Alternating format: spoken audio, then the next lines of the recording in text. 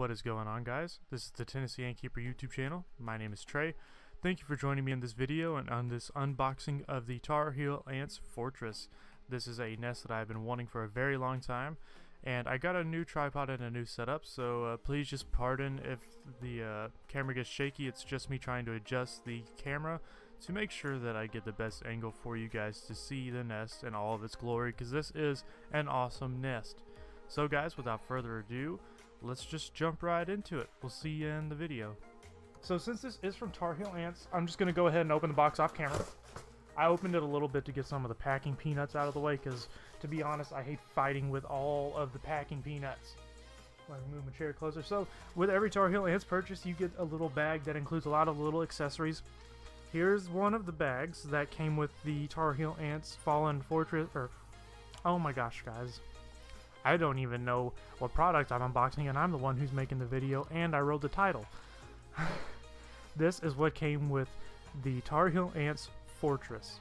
Now I didn't get the Fallen Fortress because my Formica pallidefulva colony is going in this uh, nest and I only chose the Fortress because A, they had one that was available, that was ready to ship and B, I don't have the desk space for the Fallen Fortress. Now, the good thing about the Fortress is it is the exact same type of nest as the Fallen Fortress. Uh, just obviously the Fallen Fortress is horizontal and the Fortress is a vertical nest. Now, with every Tar Heel Ant's nest, you get one of these, a nest mate. As you saw me putting together, it was a syringe. And this is pretty cool. This did not come with my mini hearth or anything, but here's a little mini feeder dish. Uh, it's probably hard to see on camera. But yeah, that's pretty cool. And then here's one of my favorite things that I've always seen in a video, but uh, never thought to order from. So this is a uh, liquid feeder, and as you can see on the camera, let me try to get to focus, that little mesh there, that is where the liquid sits, and the ants can drink from it. Now, uh, it's pretty small compared to other liquid feeders, but this is like perfect almost for getting the job done if you don't have a larger liquid feeder such as something from Ant Shack or Biformica or a custom one. You can always 3D print them if you have a 3D printer. I have one now. Now, one thing I noticed about the Fallen Fortress is these stoppers. There's three of them, but two of them are different sizes uh, than the other one. This one's bigger. Sorry if I'm out of camera. Again, new camera setup, new everything, other than the desk. Uh, so that's pretty cool, and I will get to uh, trying to figure out what that is for. I have a feeling I know what it's for, but uh, we'll get there soon. So, and another thing, while I'm thinking about it, the thing about the Fallen Fortress and with most Tar Heel Ant nests, you can get custom hole sizes for your vinyl tubing for the nest. So, if you have larger species, you can in fact get the holes that you would connect like your test tube or vinyl tubing to get your ants into the nest. You can actually get that custom sized. Just leave a note for Mac to know what size you need. Uh, I just got the standard size holes I don't know what it is off the top of my head. Future Trey, please remember to put that um, in the video so that way viewers at home will know what's going on. So I can't get all the foam off of this, but I want to show you guys how well packaged this is. Now, with my mini hearths, I was not able to show you guys how well packaged these uh, products are, but here's what it looks like packaged. That is a lot of uh, packing plastic. I am actually going to have to try to remove all this. So, uh, really quick, the Fallen Fortress does not come with this. What this is, is it's a red plastic piece, so you can, uh, you your ants and them not know you're really there, unless of course you shine a light on them. That would be really the only way they know you're looking at them. Uh, but this goes on it. Now this nest, I believe, is a 4x4 nest, and then obviously with the Outworld, it is a 4 by I believe 8 nest. Future Trey again. Please correct present Trey uh, if he is wrong. So I actually got a ready to ship one, which means that this nest was already made and it was just ready to ship. So you buy it on the website and within two to three business days it ships. Um, I'm currently trying to get the plastic off of this nest and oh my gosh, it is so much plastic. Like literally so much plastic. Like there's one layer. Oh gosh, I might have to go get a knife.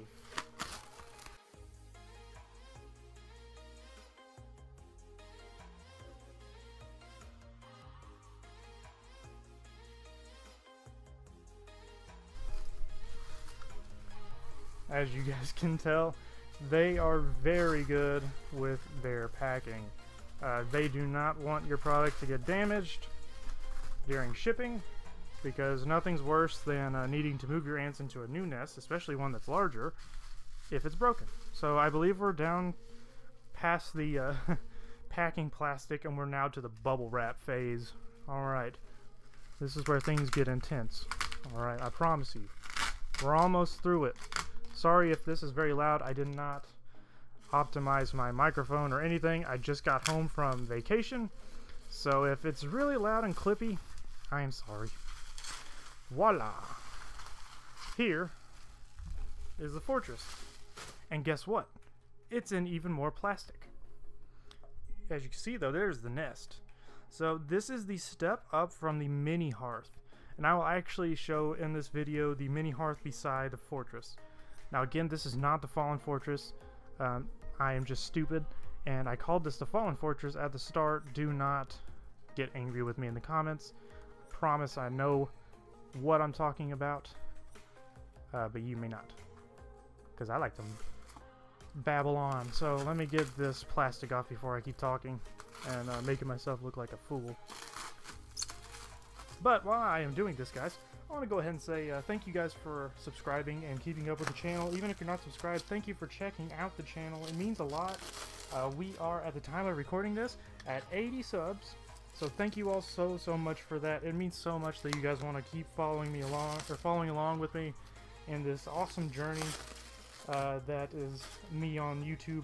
Uh, kind of embarrassing myself because sometimes I don't know what I'm saying. Um, I'm trying to do better with uh, production quality and everything, but it's just me, and I'm very new to all this, so I'm trying. I also got a 3D printer, so for those of you who order from me online on Ants Canada's uh, Queen Ants for Sale, if you just so happen to be in the Tennessee area and you order a nest from me, or an ant from me, I'll uh, hopefully have a 3D printed nest for you for your founding colony. So, voila, there we are. Trey's done mumbling. Look at this thing. This nest feels super high quality. Now, I got the museum glass. It was an extra, I believe, $16 for this nest. So not super bad.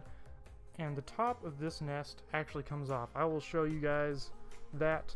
This nest is really cool with uh, how the top works. So see, there's two magnets. This is a vent. There is mesh on this. Let's see if I can get this camera to focus if it's not. There's actually mesh on this top that allows for ventilation. If you don't want to leave this hole open because what you can totally do is take this top off I believe. Does this top come off? Have I bamboozled myself? Voila it does come off. So you take this top off so you can see inside the nest and get in there and put everything in there. Um, you can take this off and there's a little ring here on the top. I tried to focus my camera by poking the lens. I'm sorry um, and you can put your fluon or whatever amber you have right here around this area and you can just leave the top on it free floating like so on your ant nest if I can get it back on there. It's kind of hard to get on there actually. Let's see. Watch as Trace struggles to put plastic back together. So that is that. This is a really good quality nest guys. This is the step up from the uh, mini hearth, like I said, and I believe this large stopper, this larger one, actually goes right there. Perfect fit. And you don't want to try to force it in there, you just kind of want it on there, because that's not coming off anytime soon. And that's that. So like I said, this was a ready-to-ship nest. You can get these custom-made to your liking. They have different themes and everything uh, within the settings whenever you go to buy this. And the more things you get, obviously, the more expensive this nest will be. Uh, this is a fairly priced nest. I bought mine right at $100 after everything was said and done with all the features that I got and all the uh, added things. You can get just about anything added to this, I believe, that you could with the standard mini hearth or any other nest. Uh, Tar Heel Ants does a great job with theming. Uh, the color of this nest is bone. So all in all, this is a great nest. I'm going to be putting my Formica pallidefulva colony in this because they are about to explode out of their mini hearth. Um, and as you can see in here, there is, like normal, a, nest, or a, a water reservoir in there. For your nest mate, you would you could either put it in the top here like so, for extra hydration.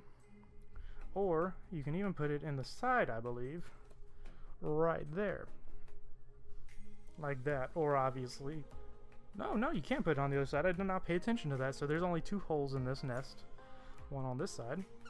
That's if you want to connect a previous nest to this one or to expand whatever have you or to help move them easier. And then here on the top, which is where I will probably be putting this nest, nest mate. I'm trying to talk too fast, guys. I'm sorry. Um, and then on the side here, that is what this included syringe is for. So there's a really tiny hole right here. My lighting is not the best because I don't have the light in the right spot. But you would put it in there. If I can hit it. Come on, trick. There we go. You angle it, and you would shoot your water in there. You don't want to fill these reservoirs up too high. You want to only get it about two-thirds of the way there. This reservoir, I believe, is a little deeper than the mini hearths, and it actually has a little line in there, uh, which is probably where you would fill to. I think that's a fill line, or maybe that's just how the plastic is made. But all in all, this is a really cool nest, and I cannot wait to put my Formica colony in it. I will be putting them in there later next year after Diapause, just for the very reason that uh, they are still in their mini hearth, they're doing great, and I don't want to force them to move into something so big so quick. Uh, I noticed that if you do that with colonies that are this size, uh, it can sometimes be devastating to the queen and to the workers. So, with this all aside, I want to give you guys another quick update on a colony, which is my Camponotus colony, my Camponotus pennsylvanicus.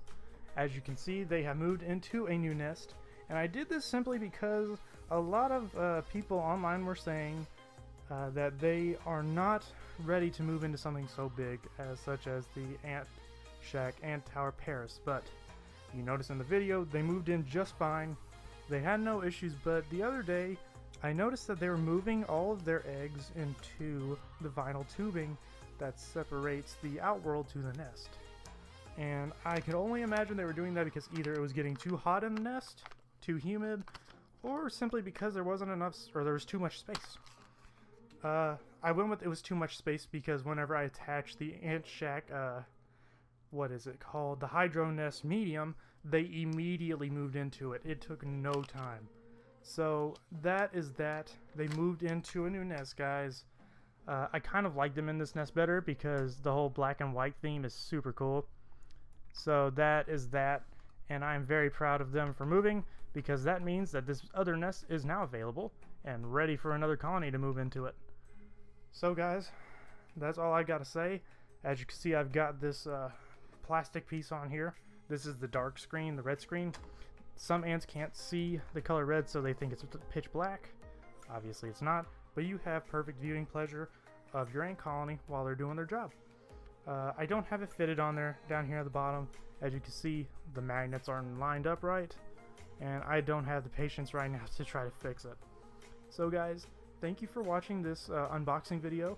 I will have a full review on this as soon as the Formica move into it and as soon as they are uh, comfortable in it because I don't want to record them moving into this nest just to reduce the amount of stress because I will put them in a dark space so they can move uh, and they're not on my desk like my Camponotus were. The only reason I put my Camponotus on my desk to move was simply because I was out of town while they were moving. So guys, thank you so much for watching. My name is Trey. Thank you again for joining me in this uh, video and we'll see you in the next one. Don't forget to like, comment, and subscribe. All your feedback and comments are appreciated. I read them all, and I try to respond to them all. I don't do a good job sometimes, but I will do my best. Hope you guys enjoyed. And uh, can't wait to see you guys in the next video. Hopefully I'll get to show you all my new ants. I caught nine queens today. It was pretty sick. Uh, all of them were fire ants, so I'm probably not going to keep them. I'm probably going to release them. But uh, yeah, we'll see you guys in the next one. Bye, guys.